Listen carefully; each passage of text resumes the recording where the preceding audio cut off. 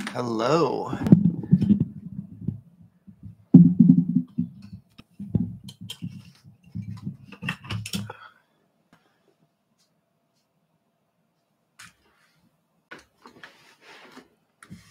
All right. Well, tonight I thought um, that I would do a Booberry. I had so much fun doing that Frankenberry last week that I thought I'd keep it up. And then, um, depending on how much fun I have tonight, we might follow it up with a um, Count Chocula next week. But we'll see. It's funny. I looked up um, Booberry while I was waiting for the uh, while I was waiting for the stream to start, and um, like I'm did not ever realize this, but he's got chains hooked to his nipples. Did not expect that. He has a bowl on a chain, box of cereal on a chain, and they are both like pierced to his chest. So so that's a fun discovery. That's like discovering Frankenberry's um, ballet slippers last week. Sometimes you just don't notice this stuff.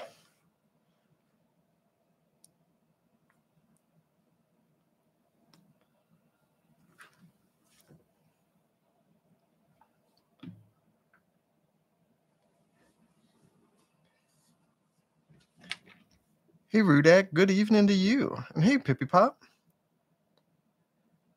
King Kinkberry. Yeah, that's a that's a good name for him. So I did even did um, a little sketch getting ready for this of where I'm going. Um, so yeah, so that's that. And I think I'm gonna do the same thing as I did last week, where it's gonna be all acrylic ink.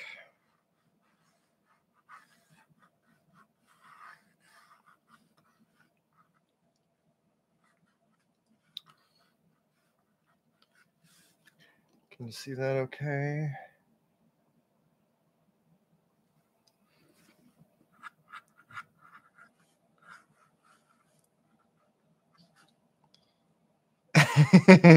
BDSM Barry.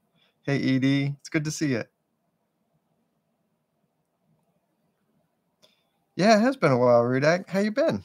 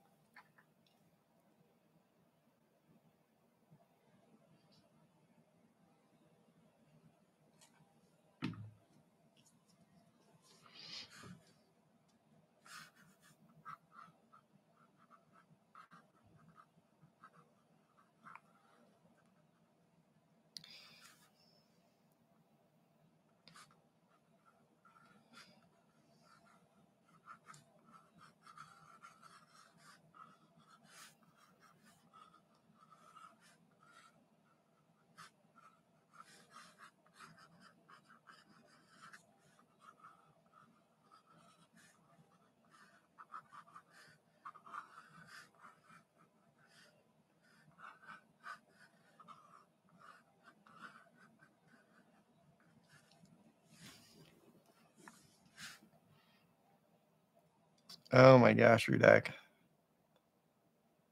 I hope you get to take a break soon. Oh, you're done now, though. Good. I hope you're enjoying some time off then.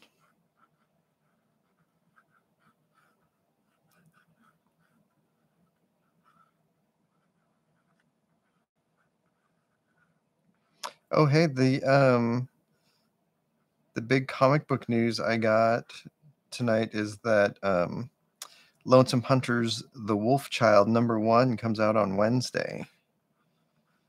So if you are going to be near a comic shop, you can grab one of them or two or three. It's all good.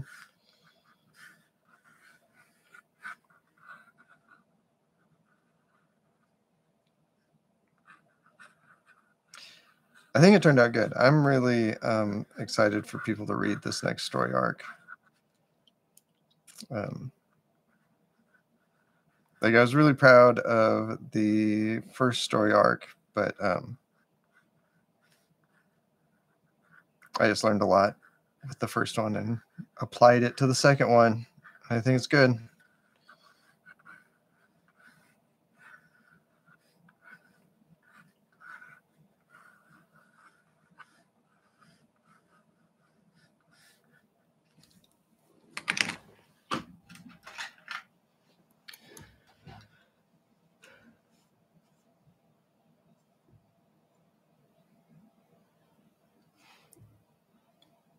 Hey, Don. Thanks for stopping by. I almost missed your comment.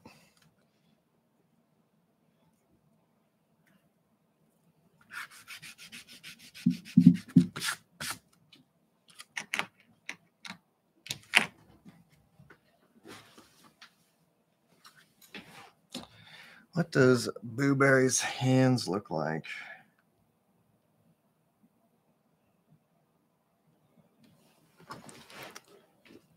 They look like three leafed clovers.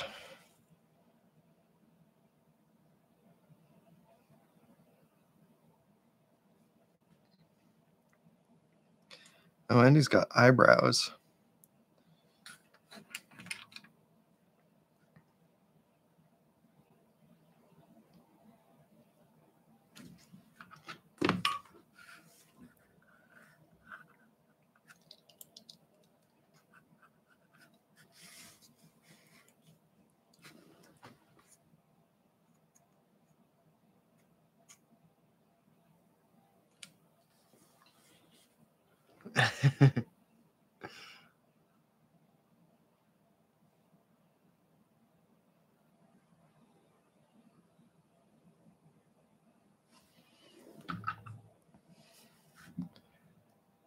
Yeah, I'm glad you're living too.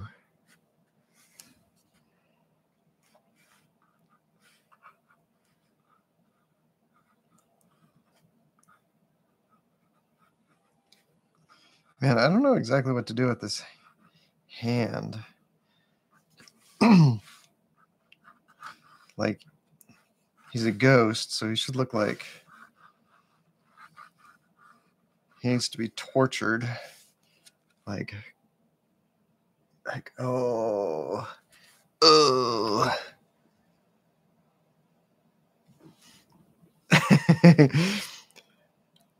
yeah, Edie, the guys who are the people who designed this. Um, I think it is really hard to tell um, if they were into it or they were like taking the piss out of it because it's um, it's just so weird. That's sort of how I feel when I watch um, like old He-Man cartoons, where you just can't tell if the people writing it are just really weird and really into it, or if they're not into it at all and just doing weird shit because they they don't care.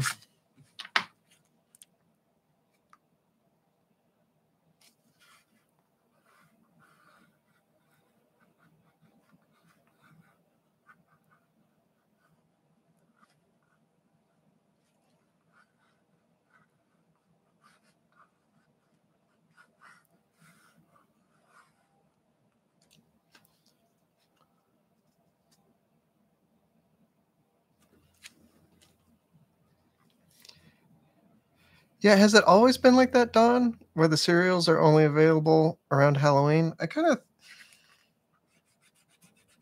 kind of felt like that they were everywhere when I was like they were always around when I was a kid, but um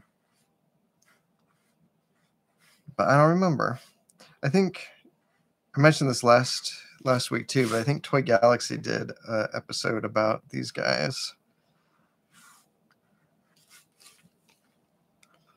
And they probably go over all that.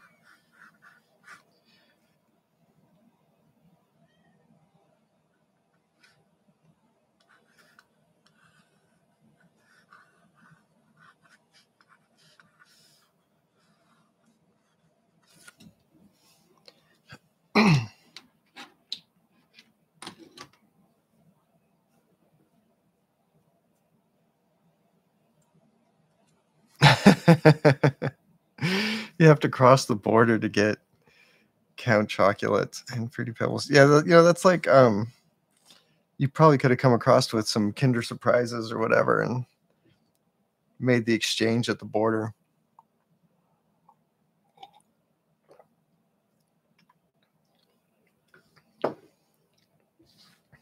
the hardware and hat store.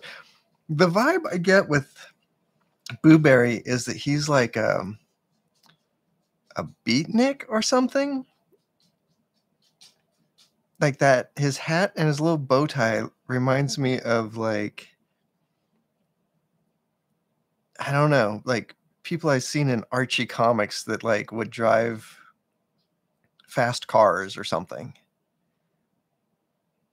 Like teenagers, but with like almost beatniky, kind of beachy. I don't know. I don't know what his fucking deal is.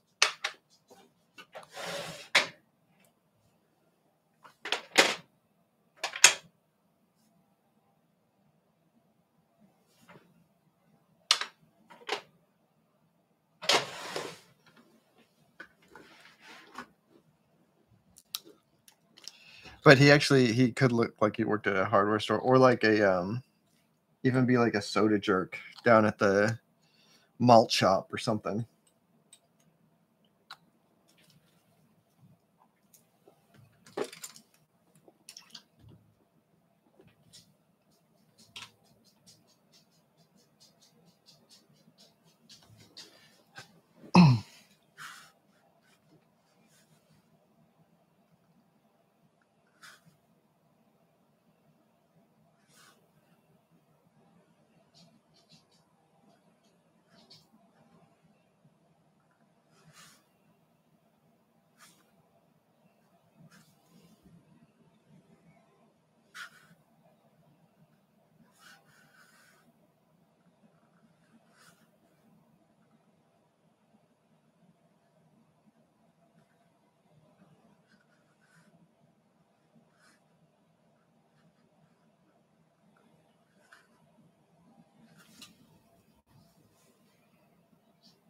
yeah, exactly. Pork pie hats. That is is that what this is? Is a pork pie?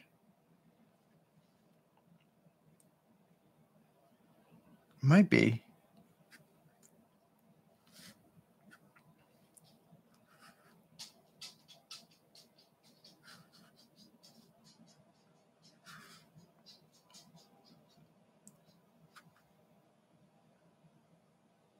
Oh, and before I forget, the other thing I got going on is if you're in Portland tomorrow, I'm going to be at uh, Books with Pictures Con, which is at the uh, Portland Books with Pictures. And I'm just going to be there for the brunch. So I think it, it starts at 10 a.m.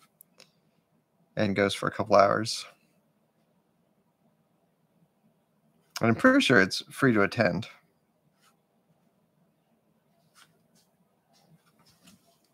So if you're in Portland and you want to come say hi, please do. That'd be great.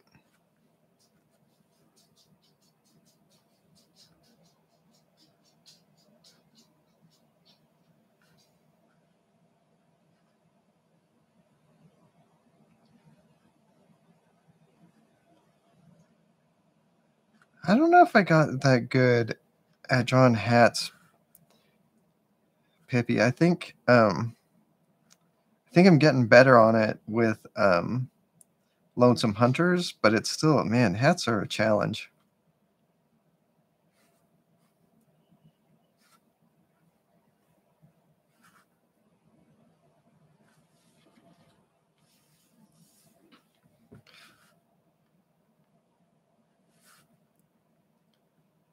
Like that one of the things with hats, especially there's stuff like baseball caps, I find really hard to draw because they're like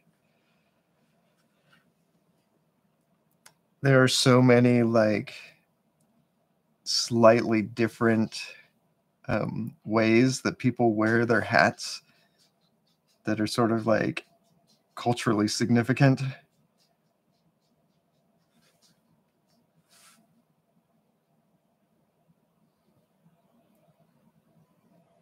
So it's never just about like drawing the hat. It's about like exactly how would this character wear their baseball cap.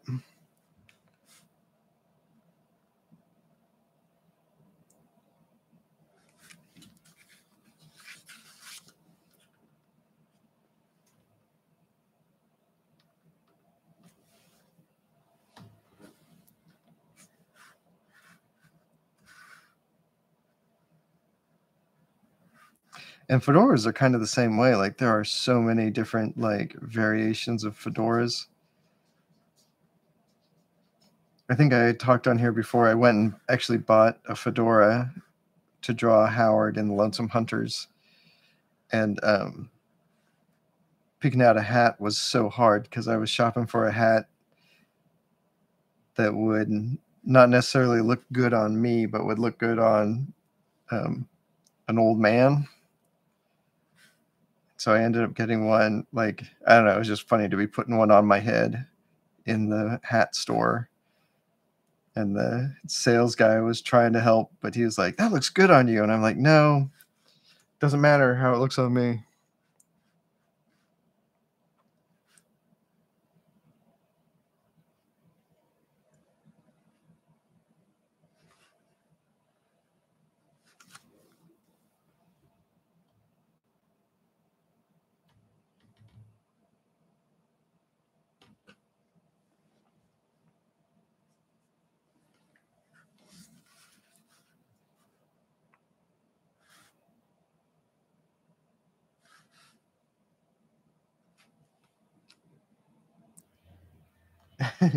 he was a little tripped out at first, but I eventually like explained to him what I was doing, that it was for reference for a comic book, and he was sort of like, "Whoa." He seemed to be kind of fascinated by that.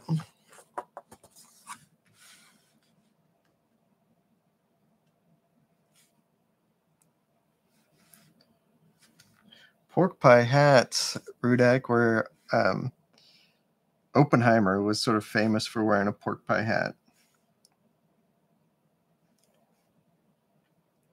And I think they were kind of like I don't know. I'd have to look it up to know for sure. I always when I think of a pork pie, I always think of sort of like um you know those straw hats they used to wear at in like the 20s with like the crown was really flat and the brim was really flat. And I think a pork pie is like that only in leather or like felt, not leather. But I could be wrong.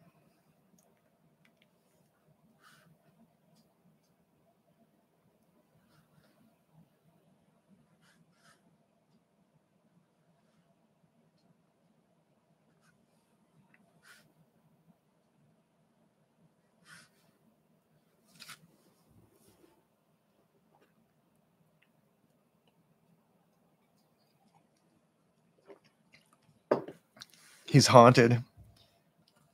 Boo Berry is creepy because he has unfinished berry business on Earth.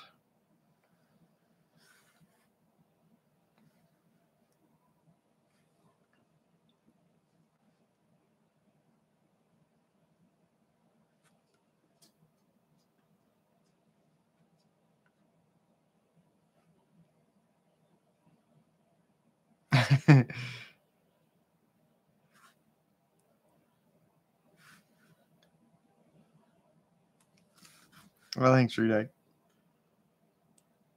Yeah, Edie, I think a, uh, any sort of leather hat would last forever, but it would probably not be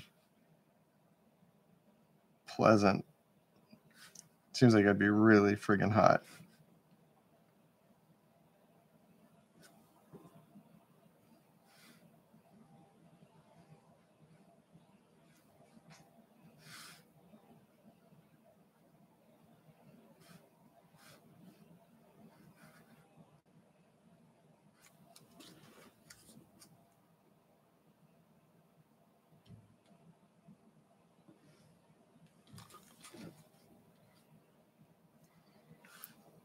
Oh my gosh. You know who this guy might be? Um I do not know the name of this the singer. Like who sang that song? I found my thrill on Blueberry Hill.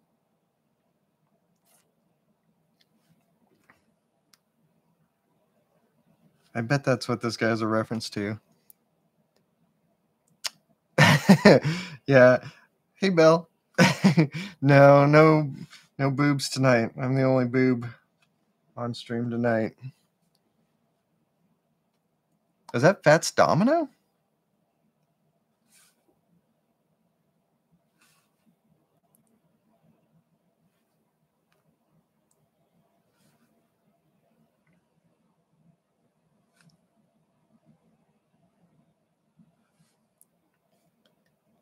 I don't know anything about Fats Domino. I always thought he was more of a, a blues guitar guy. Hey, Kelly.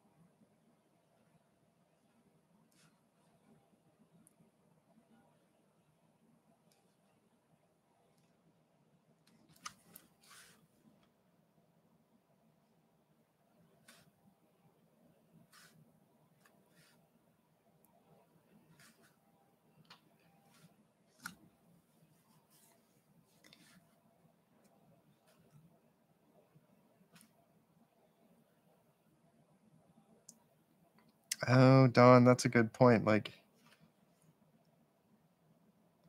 yeah.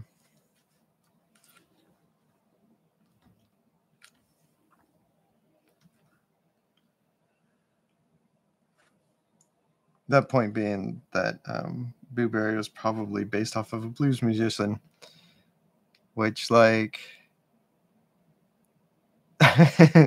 Fats Domino was big on the piano, literally. Yeah, I bet that's who this guy's based off of. I'm going to say that that is 100% accurate and not look it up to know for sure.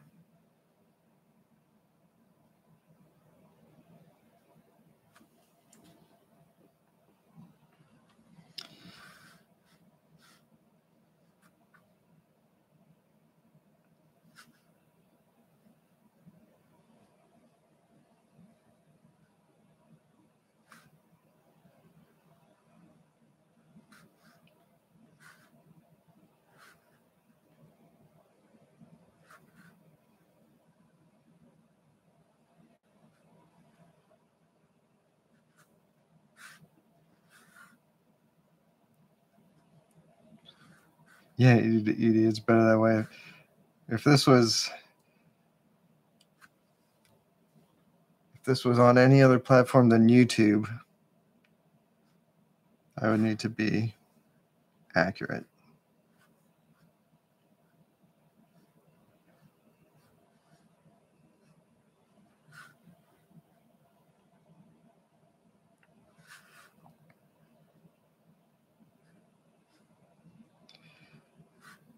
Yeah, Kelly, I think he looked sleepy because he could not rest. He was his soul was tortured.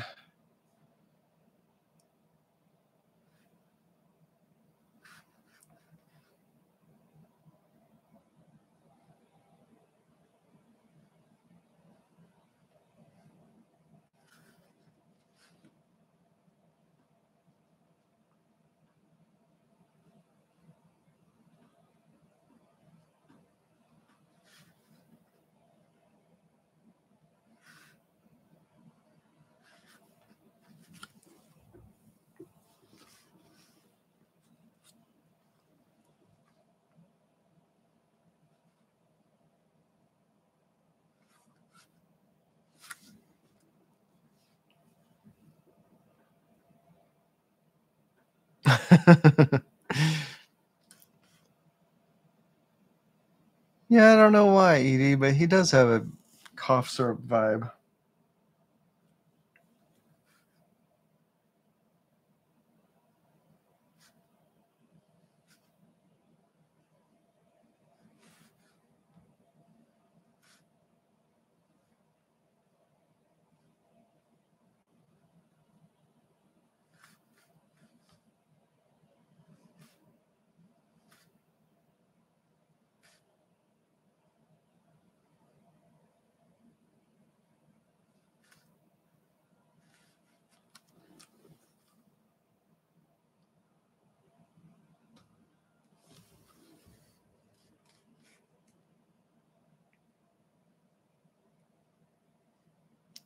Hey, Kristen.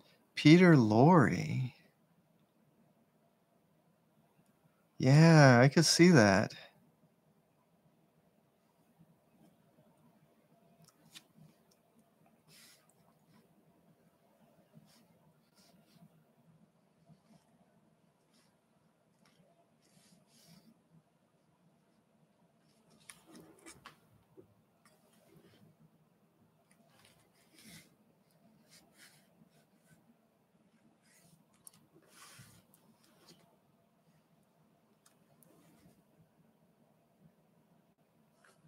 I decided to skip the nipple piercings on my guy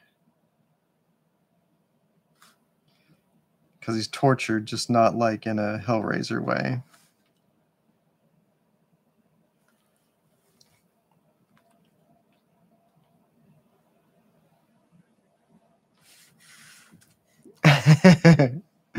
think these guys are taking the piss.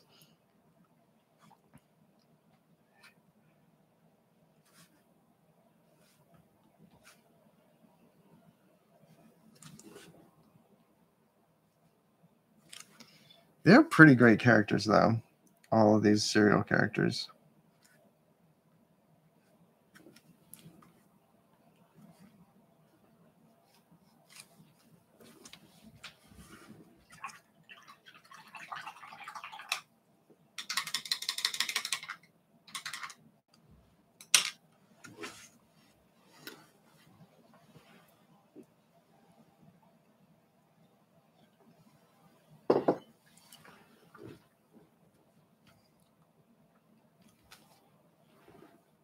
All right, I think it might be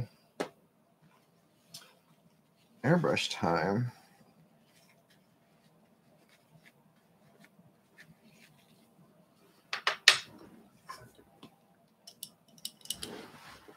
Hold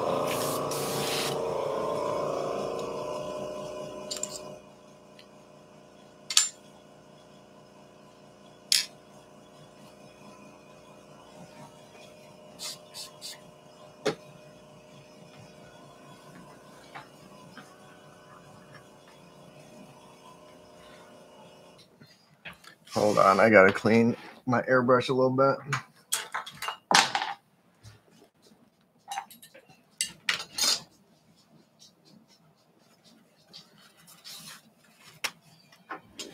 For years, I did not use an airbrush because I was scared of having to clean them all the time. But it turns out they're a lot more forgiving than you might think. Like usually the only real thing I do to them is I'll take out so there's a needle that feeds down the middle of the airbrush. Goes right through here. And it comes all the way out the little tip. And the biggest thing I have to do is just clean off that needle. So when it gets um, clogged, it's usually just um, ink or paint or whatever sort of built up on that needle. So you just take it out. And this is a um, just a little piece of a, a um, magic eraser. And I use that and clean it off. And then nine times out of 10, it's ready to go again. Although um, on I try every like every other month to sort of take it all the way apart and I have like a sonic cleaner that I soak it in for like 20 minutes.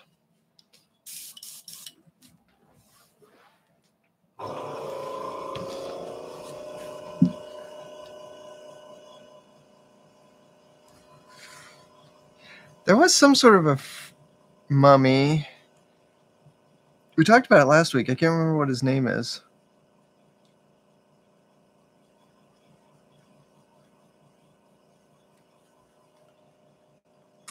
The reservoir has a lid. Ed, I don't use it very often. It's just a.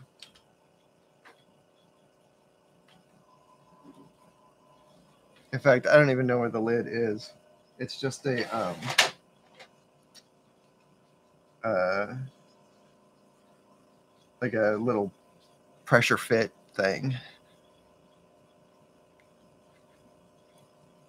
Fruity Krueger. That's a good. That would be a good one.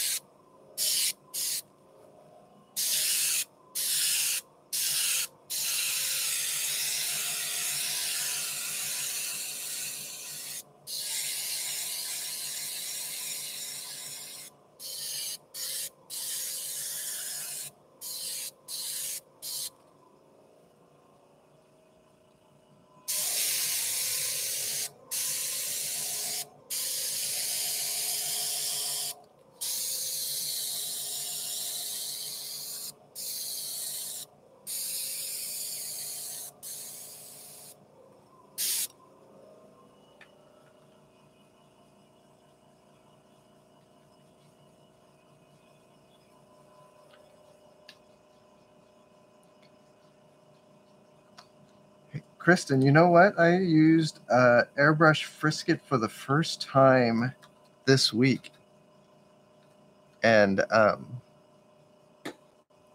I'm very excited about it. it's funny, like it's something I should have been using. And so when I years ago when I first took some airbrush classes, you know, we used Frisket in the class, but it just never like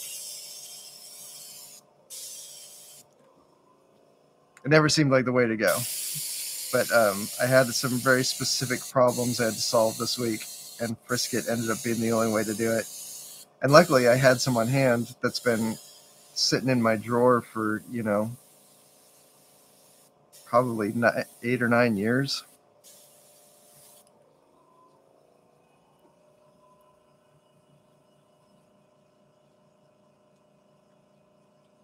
But I don't use airbrush as like um to do very detailed stuff. I kind of just use it as like um like this where I'm doing sort of like a wash with it, you know. And the reason I needed it this week was because I was doing a um I had some panels in a comic I was drawing that were circular and I needed to airbrush everything around them except for them. So so Frisket worked out perfect for that.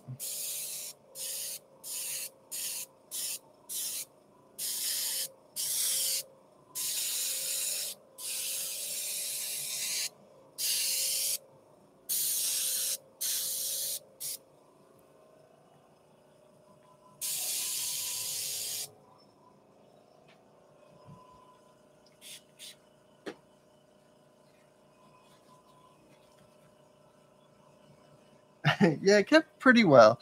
You know, I had one place where I was putting it, putting the frisket over some uh, black ink, and it pulled up the ink just a tiny bit in a little spot. And it wasn't anything I couldn't fix with just going over it again, but um, but yeah, it makes me um, maybe want to experiment a little bit. In fact, I ordered um, some fresh frisket just this morning so that um,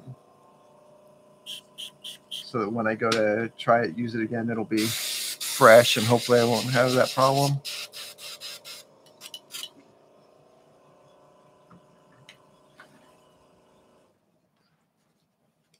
No, Bill, check it's this stuff. This is what I used was um this. And it's like I don't have, well, here, I'll cut off a little piece.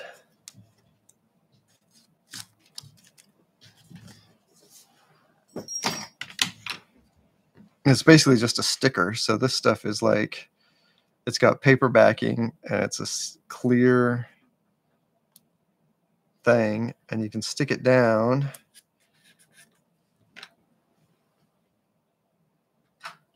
and you can see through it perfectly well.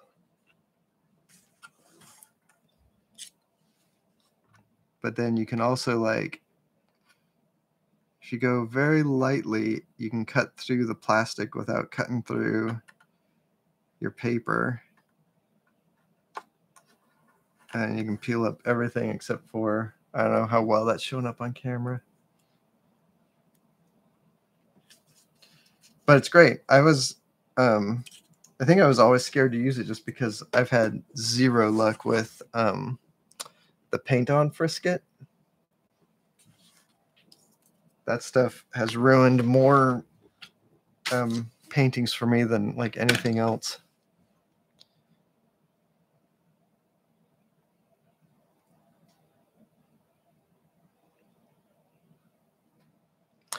Oh, Kristen, you know, I've seen that same guy doing the it looked like he's doing um uh acrylic paint or maybe gouache doing those animals. I, it feels like it's acrylic because he does like so many layers on those.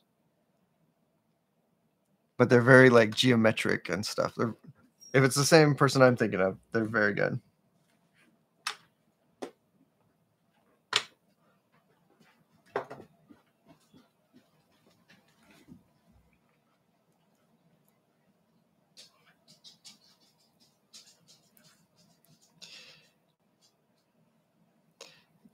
Yeah, Bill, the liquid frisket I have a problem with because it like um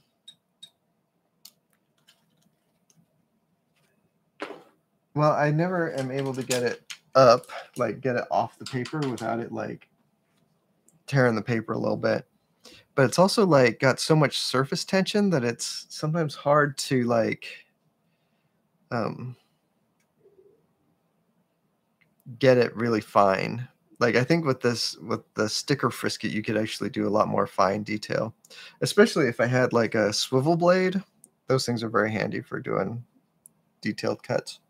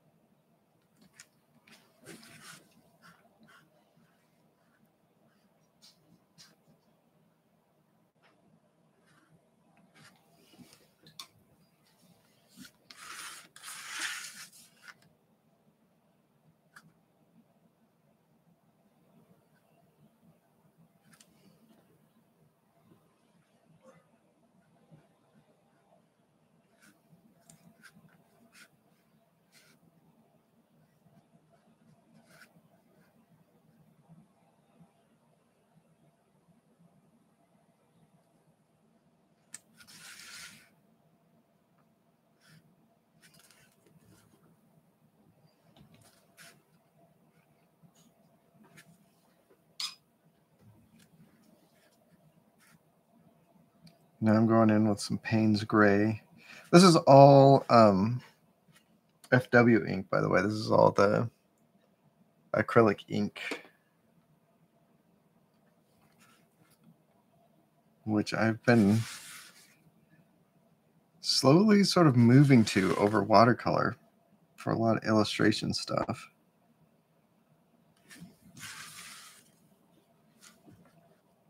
Like for comics, like for my interior, like sequential pages, I've been tending to go with like a sort of a hybrid where I start off with watercolor and block in a lot of stuff. And then um,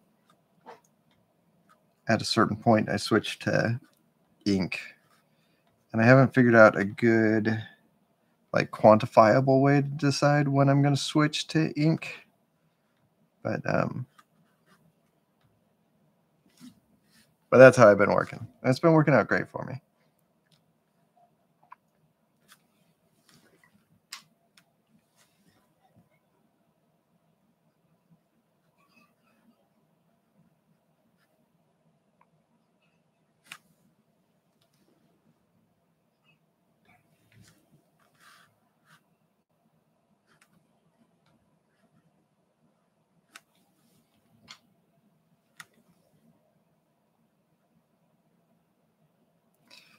Hey, Bill, have you seen those? Well, of course you have.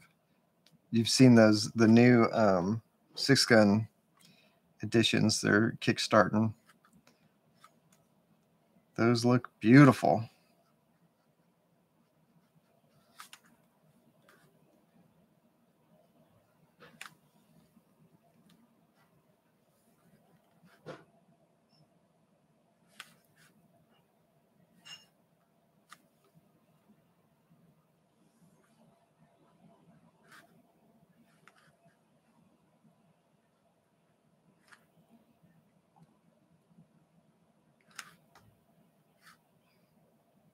Yeah, I liked those library editions that they did before, but um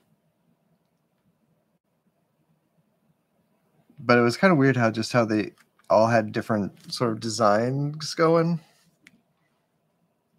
Oh, some new material.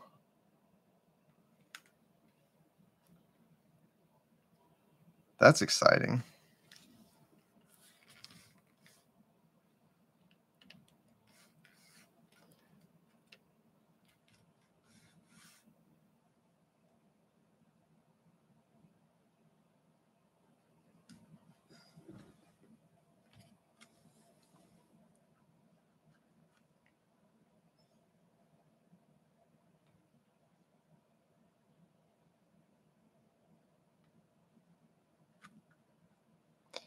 Yeah, Pippi. Six Gun is like, I don't know. I'm a huge fan of just about everything that Cullen and um, Brian do.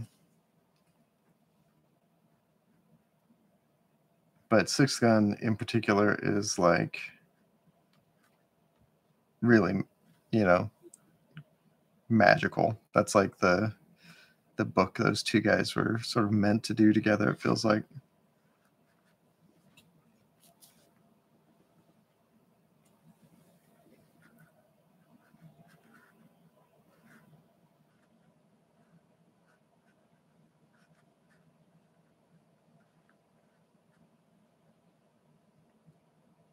I have not seen Midnight Show, Bill.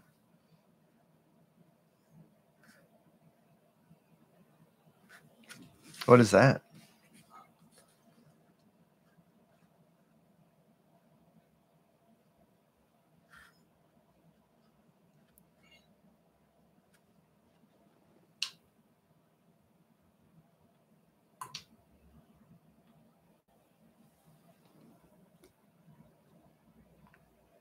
Oh, holy shit. No, I did not hear about this four issue series with the three of you guys. Is it out?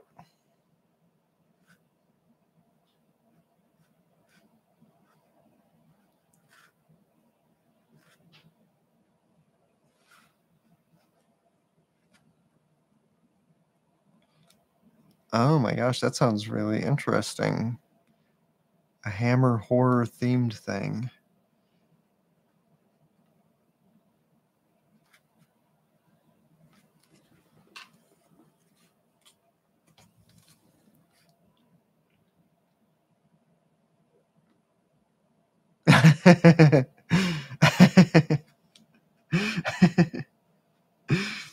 Autocorrect switching Halloween to Hallelujah is pretty great. Yeah, I have not seen or heard of that. That's um that's really exciting though.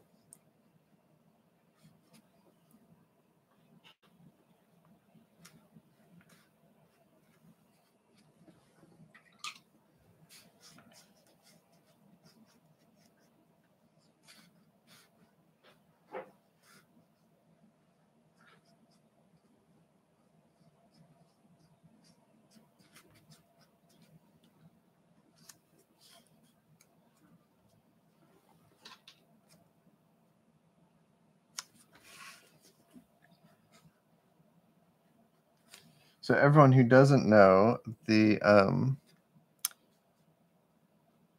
uh, Cullen Bunn is the writer of Harrow County, um, the book that I'm probably best well known for, and um, he's doing it with uh, Brian Hurtt and Bill Crabtree, and uh, yeah, so it came out a long time ago, and I did a couple fill-in issues for it years ago. Um, but now they're doing some reprints in a beautiful library edition, and I think they're still kickstarting it right now.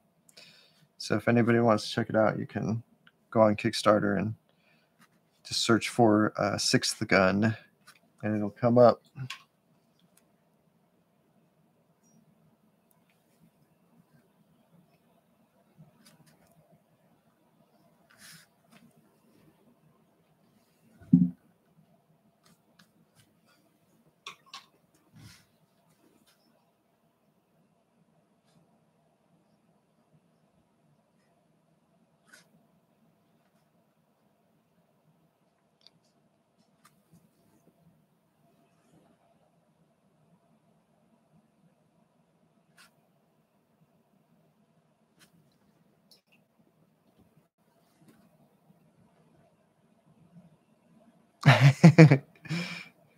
yeah, Ed, we got a celebrity in the house.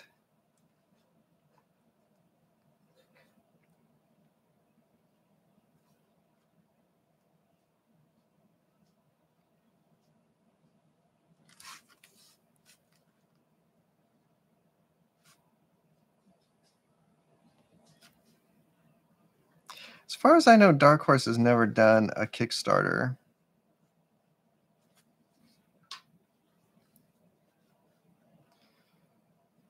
What do you guys think about publishers doing Kickstarters?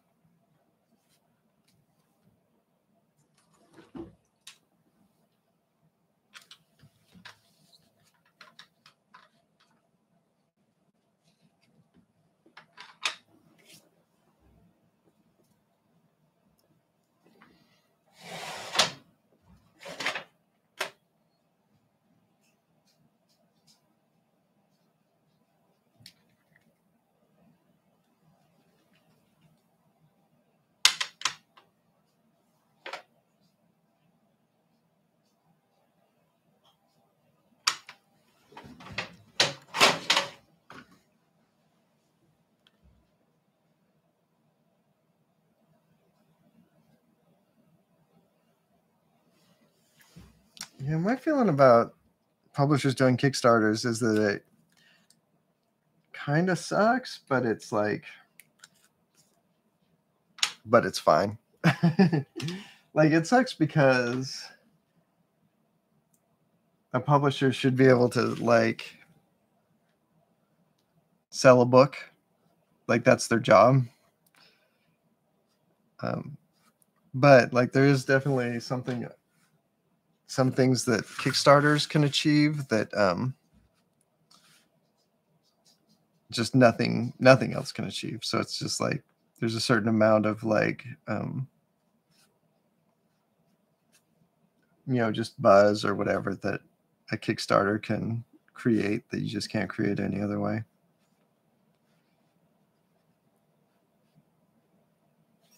So it doesn't it, like it doesn't bum me out that publishers do it, but it bums me out that like any publisher has to do it kind of.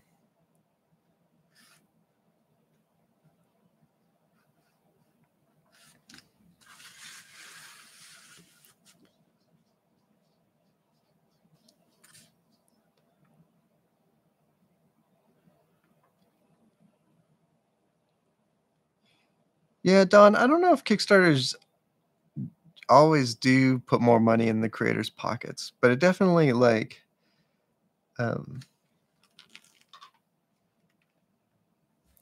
like it's just it's definitely nice to be able to like um break even before the book even comes out, like and not have to wonder if the book is going to break even or not, you know.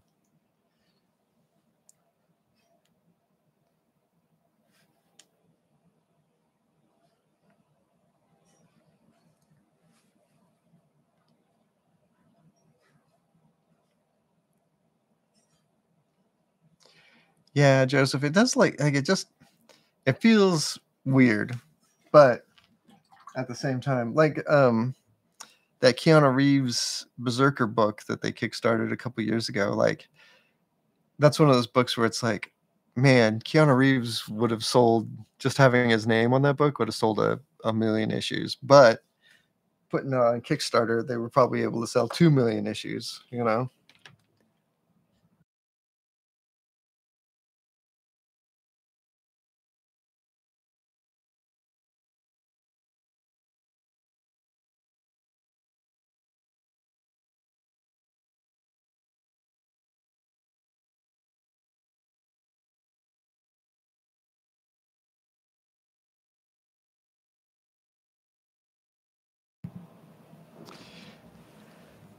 Yeah, Joseph, but if like uh if the creators were able to kickstart it, there's like no reason to take it to a publisher.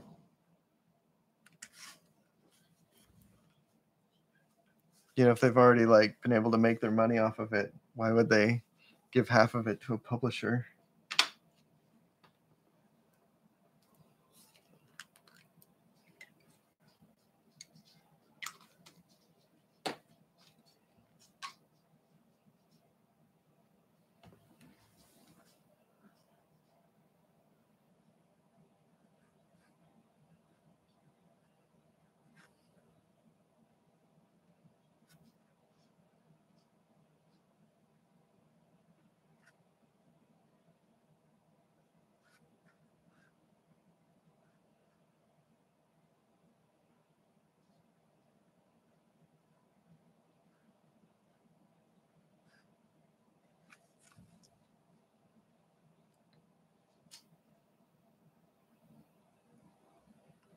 Yeah, Bill, the idea behind Berserker Kickstarter was to reach audience that doesn't frequent comic book stores, which is like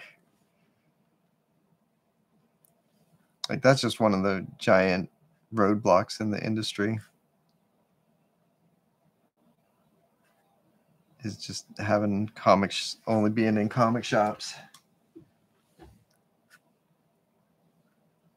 Back in the days when they were in grocery stores, you know, people sold hundreds of thousands of copies of stuff constantly. And now, if a book sells a hundred thousand copies, it's a like a big deal.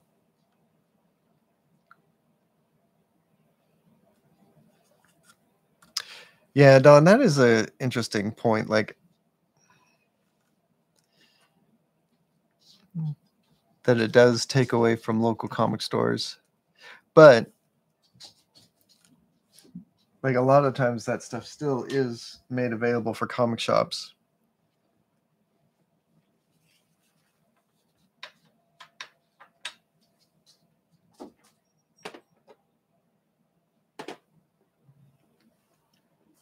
So like the comic shops will get like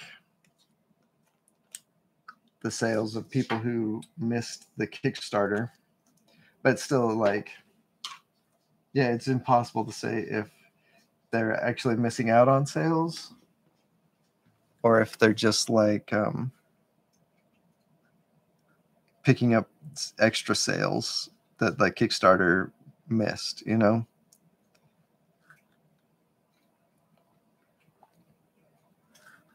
It's definitely not like a cut and dry thing, though. Like, I don't think you can say it's like 100% good or 100% bad.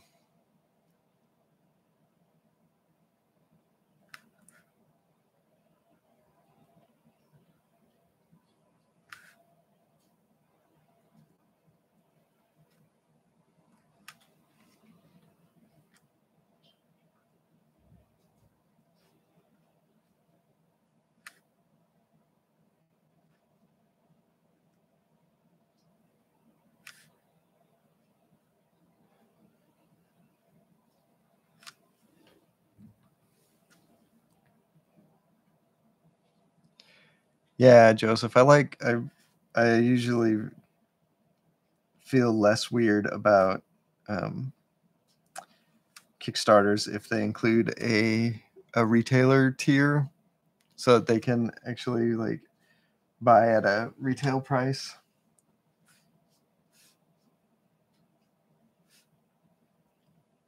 And I think every publisher who's done a Kickstarter has also released it through like sort of the regular distributor means too. So if like a comic shop wanted to get it later, they could get it in a normal normal way.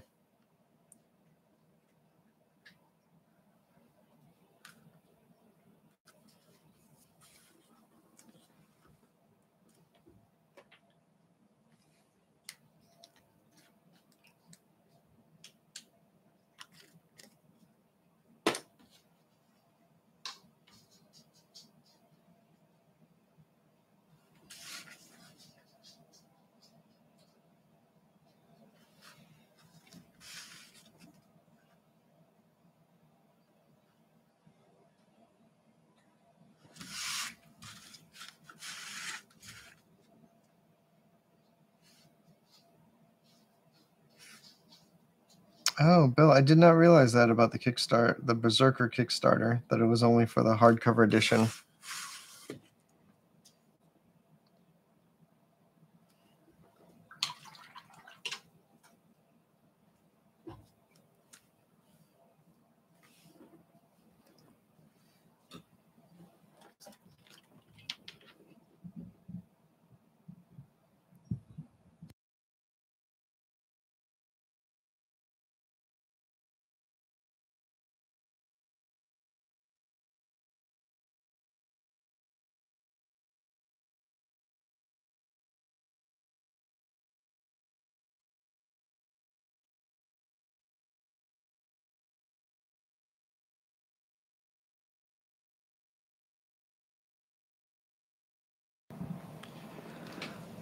You know, Pippi, I have not heard of that. That people are crowdfunding variant covers. I wouldn't be surprised if that were true.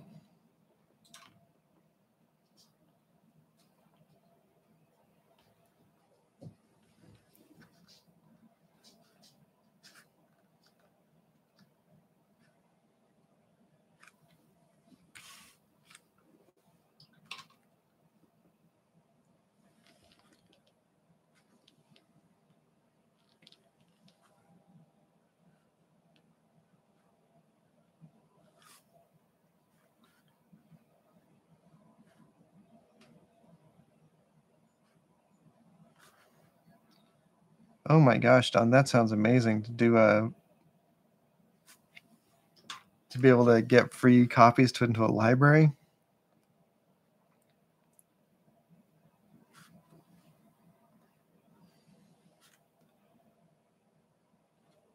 Actually, like just about every Kickstarter I have ever contributed to, if there was a option to get the book put in the library too, I would probably pay for that.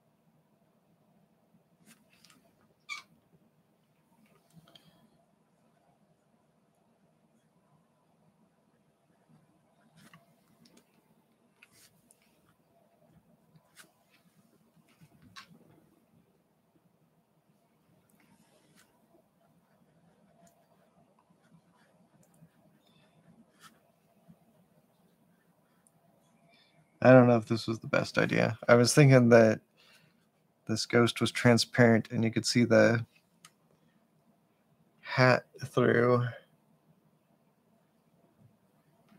through his transparent ghost flesh, but uh, no, that's working okay.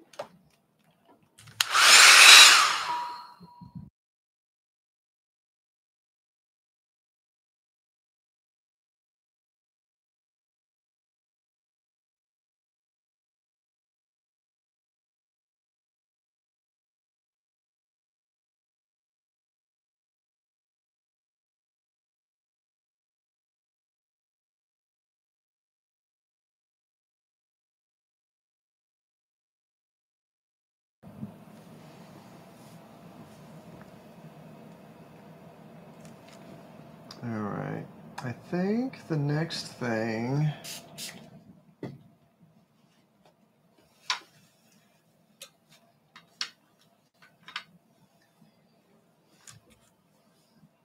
Hmm. I think the next thing is to do a background. Oh, hey, Mark. Oh, wow. Can you say what podcast you were doing?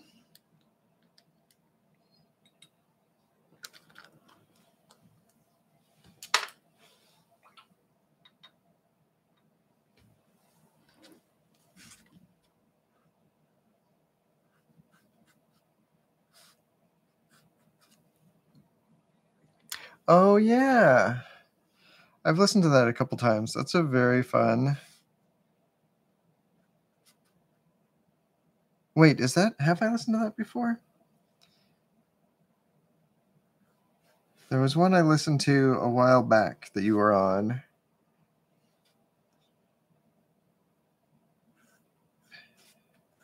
Had to have been the Hellboy one. Maybe not though. I don't know. Fuck man, I don't know. It was a while ago. anyway, I'm glad you're here. And I hope your podcast went well.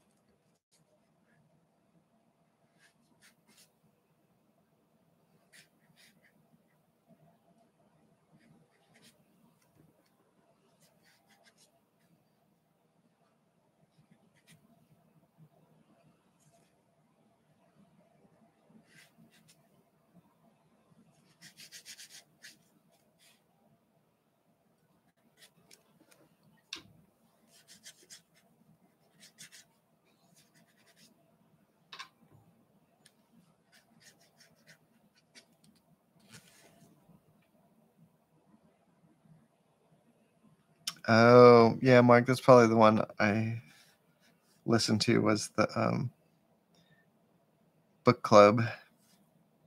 Probably because you were talking about Har- Harrow County.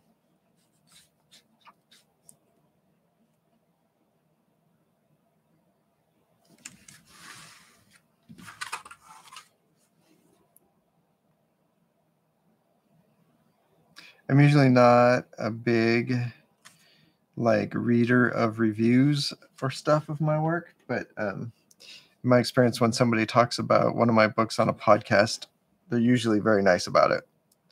Like, there's not a lot of podcasters who want to spend time talking about a book they didn't like.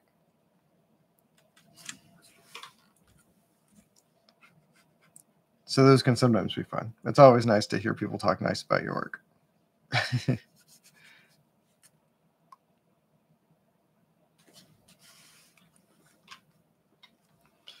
yeah, if you want, um, if you guys want to talk to me and uh, Colin about Harrow County, I'm sure we could figure that out too.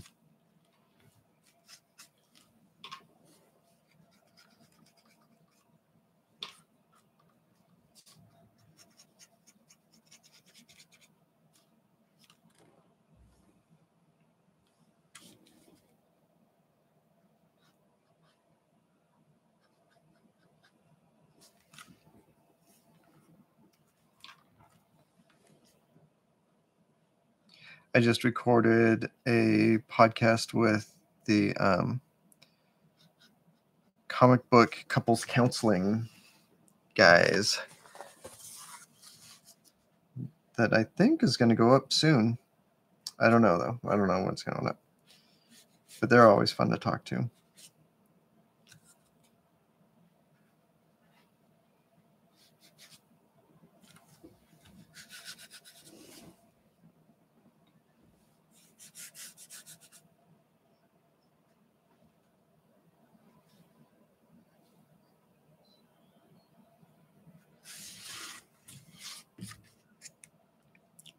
Yeah, Brad and Lisa.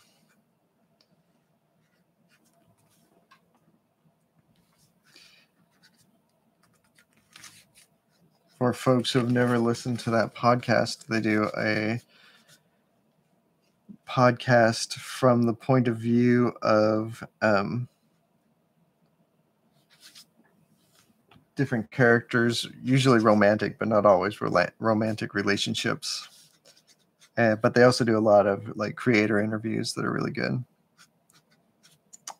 But I like them. They take a they have a very um, sort of thoughtful approach to reading comics that is um, very fun.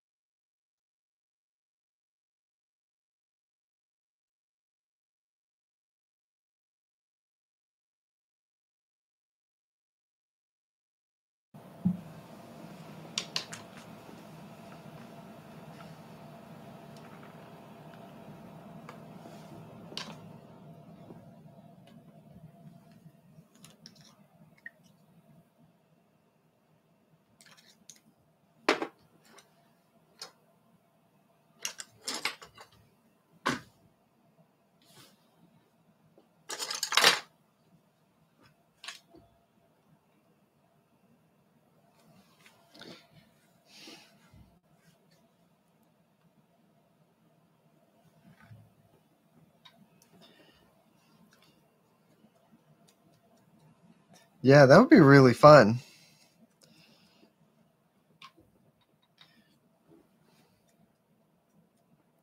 Talk to talk about Tales of Harrow County.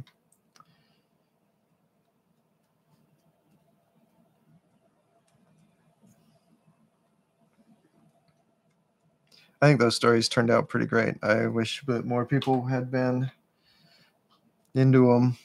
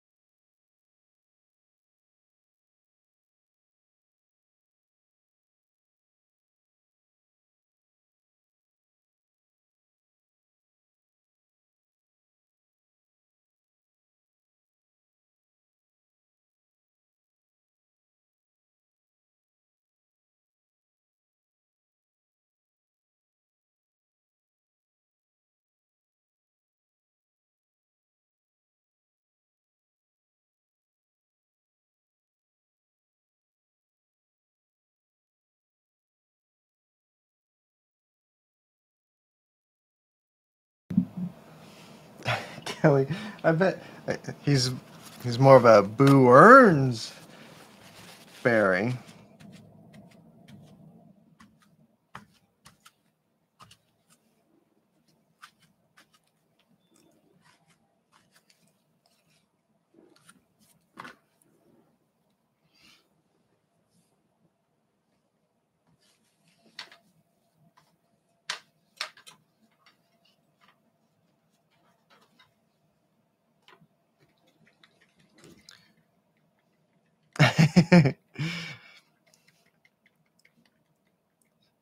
Yeah, just remember, Pippi, every time you eat cereal, you're eating the soul of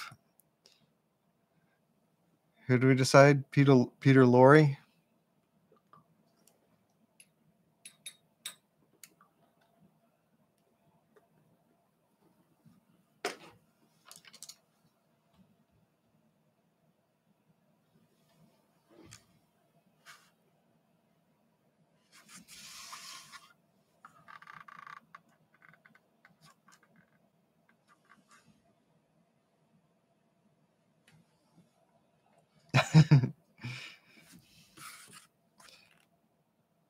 Yeah, if General Mills had any courage, they would definitely do a human centipede cereal.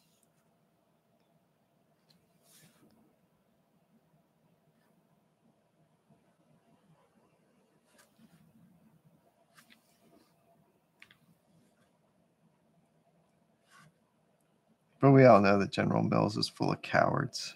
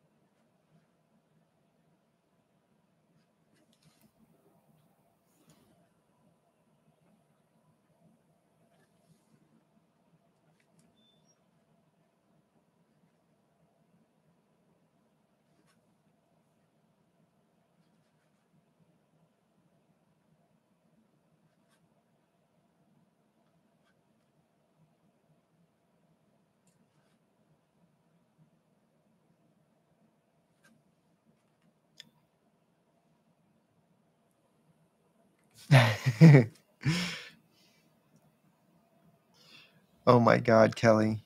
Yeah, I bet General Mills is stolen valor.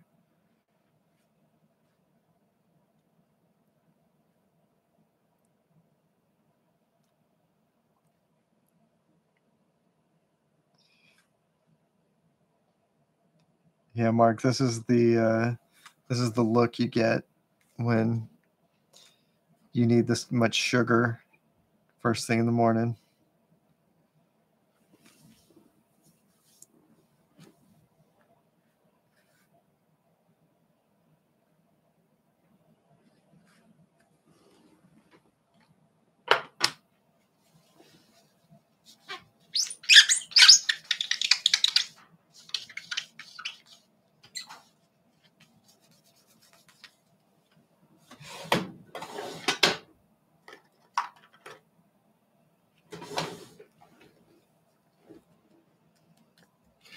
Get a little bit of acrylic wash going.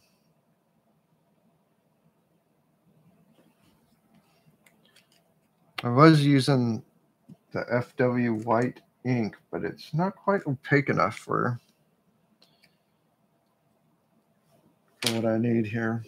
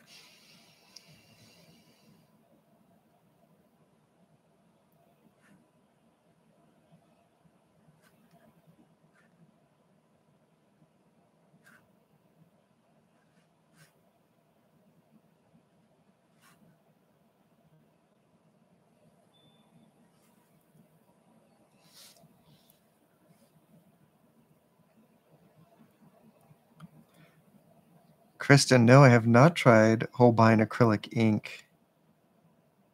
I didn't know that they made that.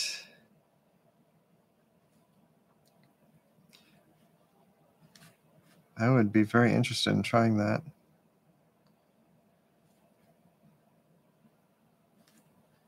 I'm going to be near an art store tomorrow for the first time in months, so I might um, pop in and see if they have some of that.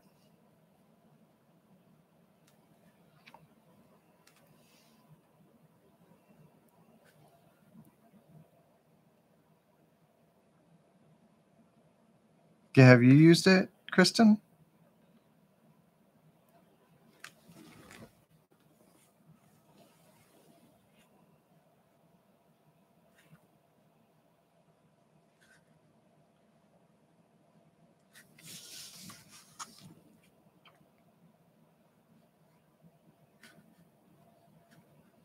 Nice.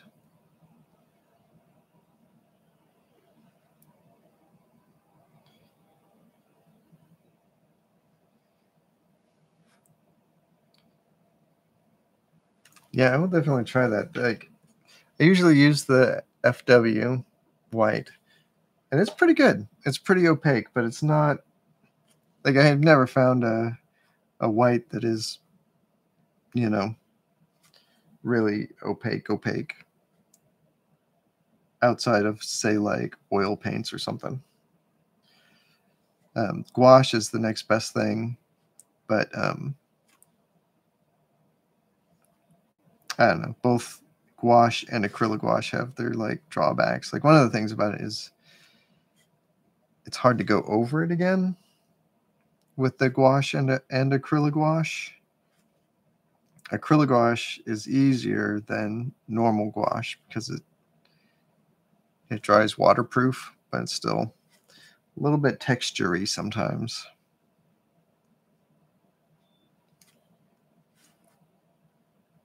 But Daniel Warren Johnson, man, that dude uses whiteout so aggressively. If he likes it, I bet like he's one of those dudes who knows he knows his whiteouts.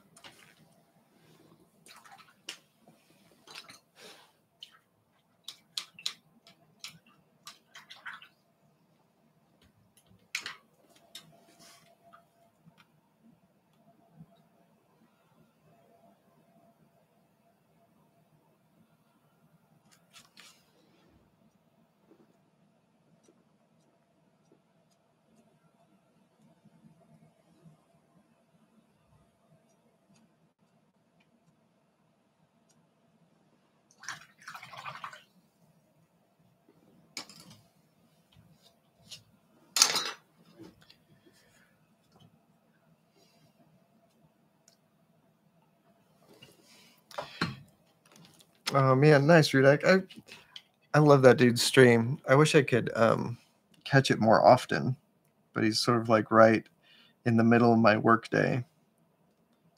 But well, at least I catch him like over the weekend. Usually, I'll watch. I'll watch him and get caught up.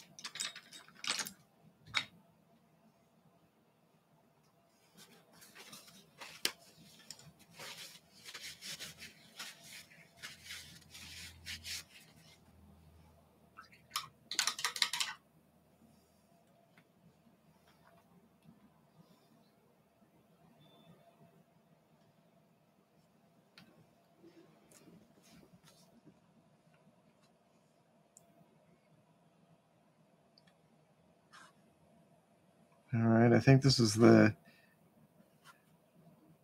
the final stretch. Just a little bit of black ink.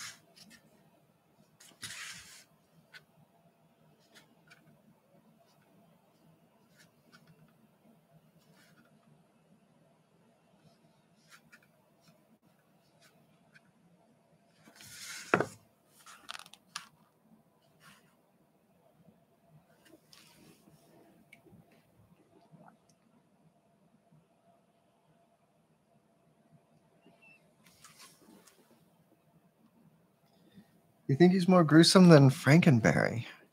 I don't know.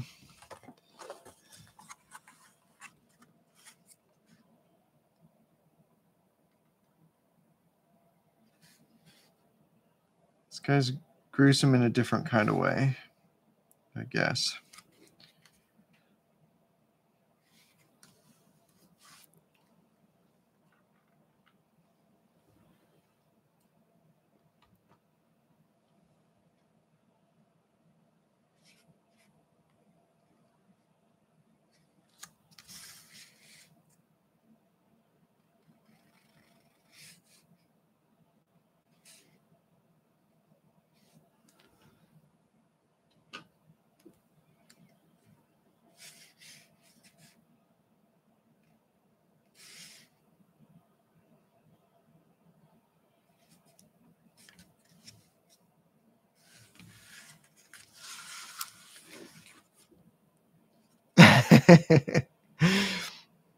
oh my gosh, Kristen, that didn't even occur to me. Yeah, that necktie is on there in a definitely in a gross way.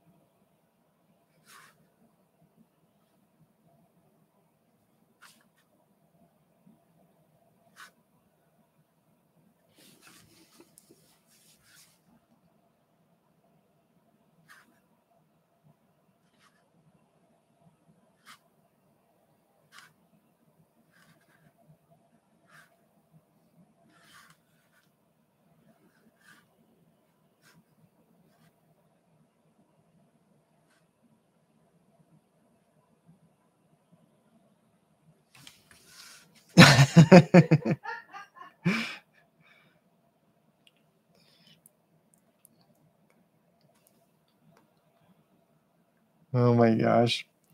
This blueberry being a mascot for kids going through the trauma of divorce is great.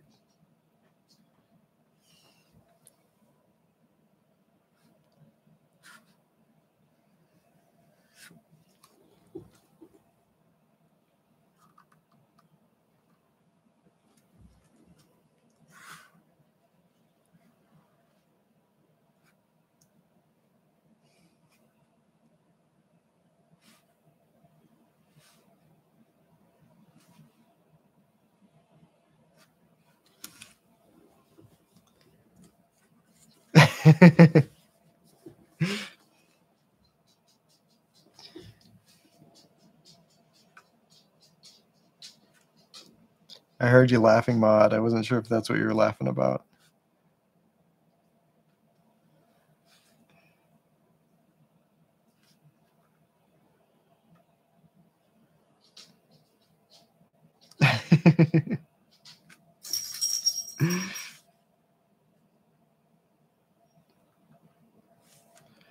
Maud's all the way on the other end of the house.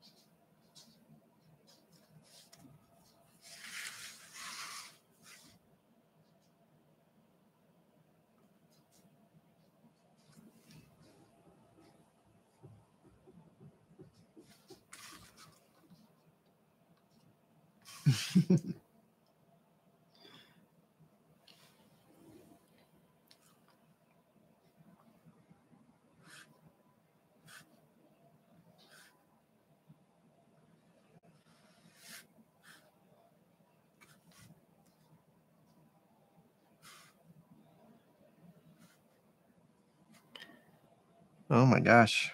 We're going a little long tonight.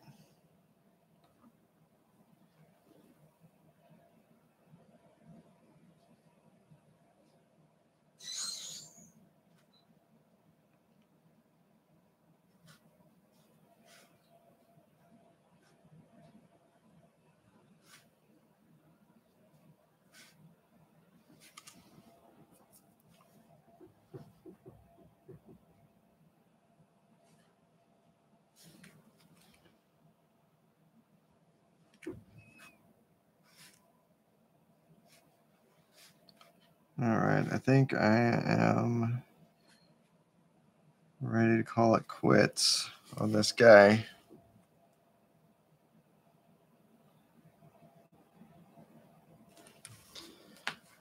Maybe not.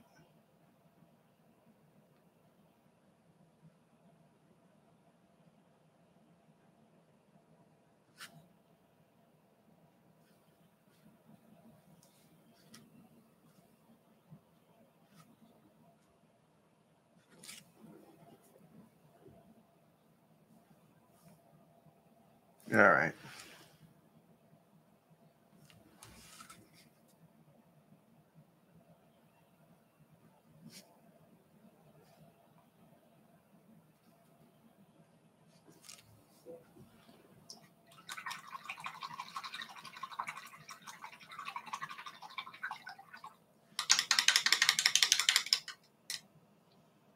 Thanks, Kelly. Triumphant.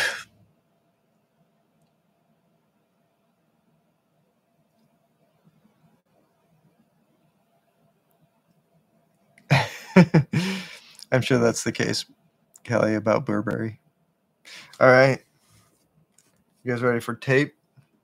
Let me see.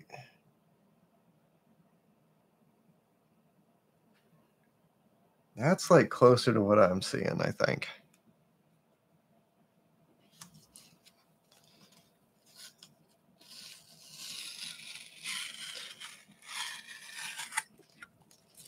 Bye, Pippi. Take care. I hope to see you next week.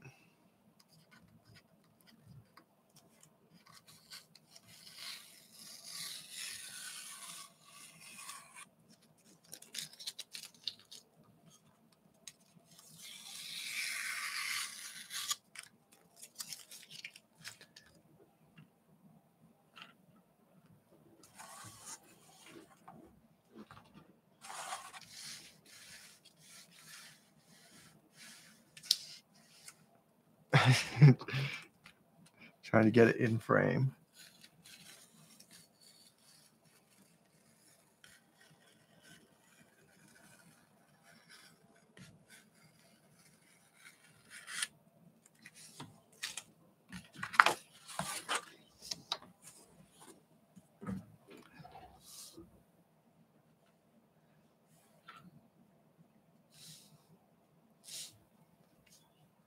There we go.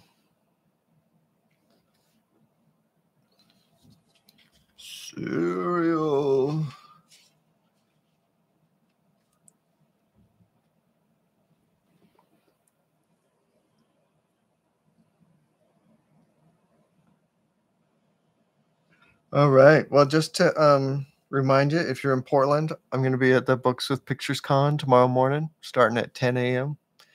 Um, if anybody's around, it'd be fun to say hi. And uh, yeah, that's it. Thanks so much for hanging out with me. I hope everyone has a great weekend. And don't forget to tell the people you love how much you love them. And I love all you guys. Take care.